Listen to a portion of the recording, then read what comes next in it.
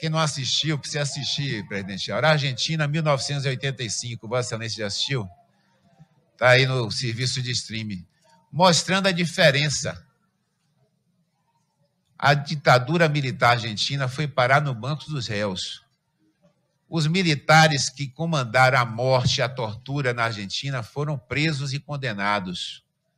No Brasil, não só foram anistiados, como passamos anos passando a mão na cabeça de um ex-militar expulso da Força Armada, que ficou aqui pregando tortura, violência, assassinato, racismo, que há de pior.